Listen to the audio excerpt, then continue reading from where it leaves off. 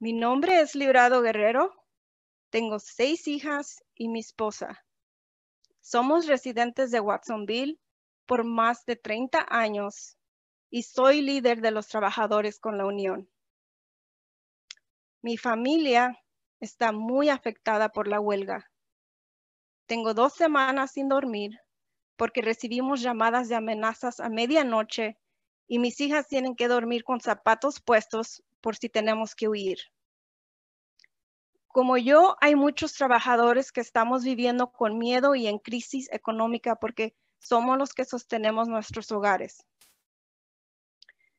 Les pido a ustedes, el concilio de Watsonville, que intervengan para encontrar solución a este problema, que se les compense justamente a los trabajadores y que la policía deje de acosarnos.